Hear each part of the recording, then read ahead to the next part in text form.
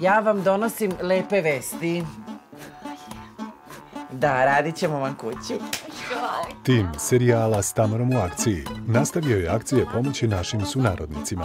Nakon pauze od šest nedelja, humanitarni serijal nastavljen je u Južnom Banatu. Akcija je posvećena samohranoj majci Snežani, koja s troje dece živi u Opovu. Neverovatan uspeh, a jeste vidjeli nekad ovakav posao? Nikad u životu. I, I nikad u životu. A nisam mislio ni da ćemo to odraditi. S Tamarom u akciji. Petak u 21. Na prvom.